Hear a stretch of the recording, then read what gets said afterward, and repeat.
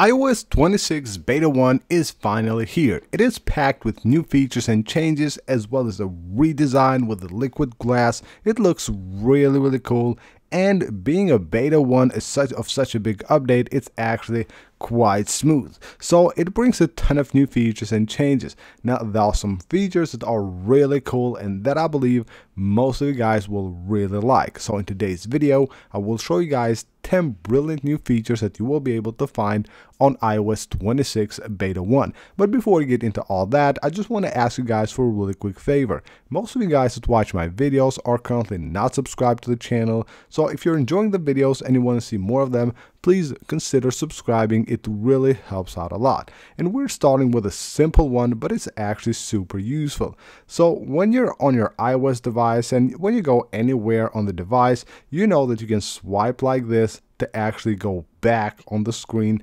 But now with iOS 26, you don't have to reach for the corner. You can actually just swipe anywhere here from the left to the right and you will be able to actually go back on any page iOS 26 will make your life much easier by allowing you to now transfer eSIMs from Android to your device. So if you have an eSIM on an Android device, you don't need to go through a carrier or maybe buy a new eSIM for your iPhone. You will have now the ability to actually once you try to set up an eSIM, you will have the option here to actually transfer it from an Android device, which of course will save you money, time, and make your life much much easier. Now when you go to your settings on iOS 26 Beta 1 and go to Sounds and Haptics, you will find here a new option. So it is called a late night mode. You can go ahead and enable it and what this will do is that it will actually soften loud sounds on your iPhone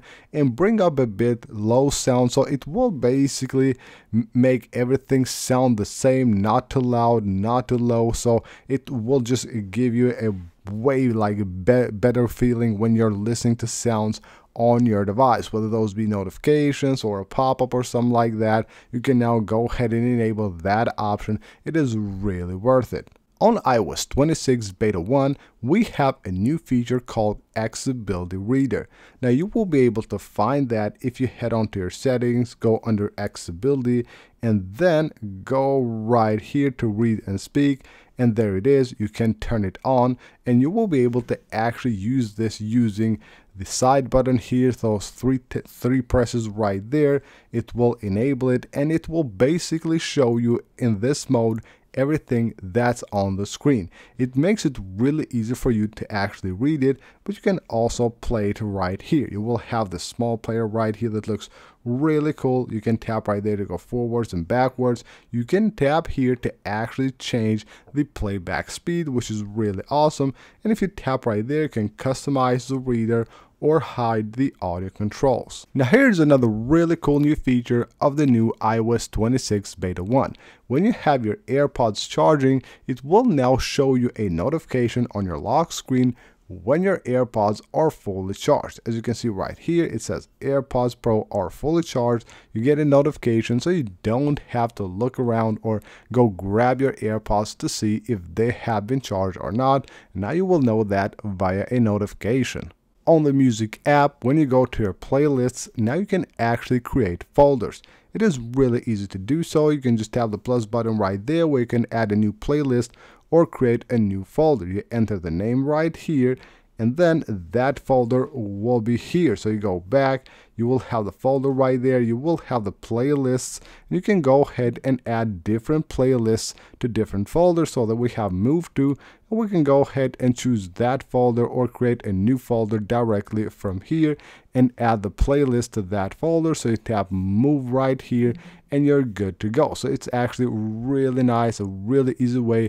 to organize your playlists in different folders. So you might have a folder for a genre, a different folder for a different genre. So it's actually quite useful. Now one thing that is actually not that useful but it looks good is that the home bar within apps is gone. As you can see, it will be there for like a second and then it's gone. I can stay on this app here as long as I want and it won't display the home bar here over the app. That's amazing, a really nice touch, really small but of course it's kind of annoying seeing the home bar there all the time we know where the home bar is we don't need to see it so now it's gone with iOS 26 beta 1 a cool feature that you will find under the collections section on the Photos app is the ability to pin anything you want. So you will have this pin section right here, which of course you can leave here, you can place it at the top, wherever you want it. Now you can actually go ahead and pin anything you need. So if I just want to pin my slow-mo folder, I just 3D touch on it, tap on pin and it will be here.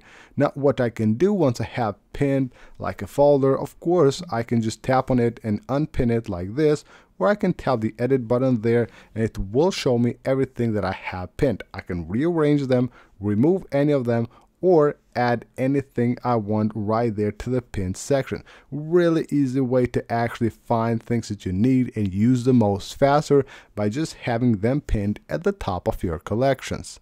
Now here's another really useful feature. Head on to your settings, go to general, and then go to AirPlay and continuity. Right here, we'll see a feature called keep audio in headphones. Now when you have your AirPods or even other headphones connected, it will keep the audio in your headphones even when other playback devices like cars or speakers are connected to your iPhone. So you have the audio on your AirPods, you get in your car, it connects to your car. It won't actually move the audio to your car, but it will keep it to your AirPods or even other headphones that you might have connected via Bluetooth to your iPhone.